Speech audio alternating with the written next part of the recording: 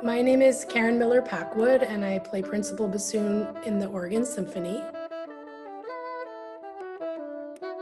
Nina is a close friend of our family. She is one of my sister's best friends.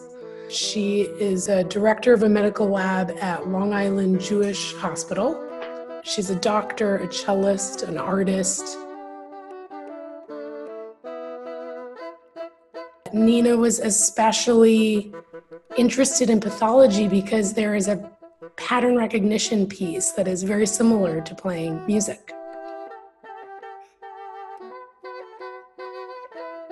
It was clearly overwhelming to be in a hospital in the epicenter of the virus in New York City.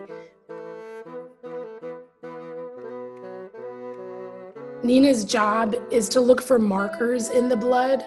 Why is this disease causing death in some people and not others? I wanted to make a tribute to Nina or I wanted to give her a space to just sit for a minute and process what she's dealing with.